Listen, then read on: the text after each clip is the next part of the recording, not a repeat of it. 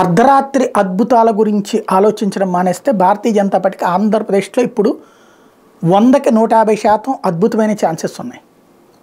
ఇప్పుడు తెలుగుదేశం జనసేన పొత్తు పెట్టుకున్నాయి. దాని ఇంపాక్ట్ ఇరవై నాలుగు మంది అభ్యర్థులకు అక్కడ అవకాశం ఉండదు కదా. ఓ ముగ్గురు పార్లమెంట్ సభ్యులు కూడా అవకాశం ఉండదు కదా తెలుగుదేశం పార్టీ తరఫున వాళ్ళు. వాళ్ళలో మ్యాక్సిమం ఆల్టర్నేటివ్ లేదు కాబట్టి ఆ పార్టీలోనే సాగాలి. అదే ఆల్టర్నేటివ్ ఉంటే అదే జనసేన బీజేపీ కలిసి ఉంటే కనుక అసలు తెలుగుదేశం టికెట్లో పోతే ఇటు వచ్చేవాడు ఇప్పుడు తెలుగుదేశం జనసేన పొత్తు వల్ల కొంతమంది తెలుగుదేశంలో మార్పిడి వల్ల కొంతమంది పో కోల్పోతున్నారు కదా. వాళ్ళకి ఒక ఆల్టర్నేటివ్ దొరికితే బీజేపీ వైపు వస్తారు కదా.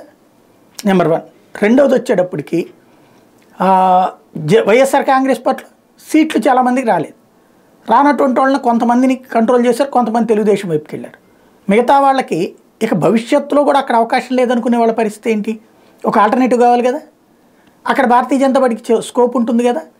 నిజంగా లాస్ట్ సిక్స్ మంత్స్ నుంచి కనుక బీజేపీ తెలుగుదేశం వైసీపీలో ఉన్నటువంటి నాయకులతో టచ్లో ఉంటే ఈ పార్టీకి ఒక దూకుడుగా వెళ్ళుండేది. కానీ ఆ పని చేయలేదు.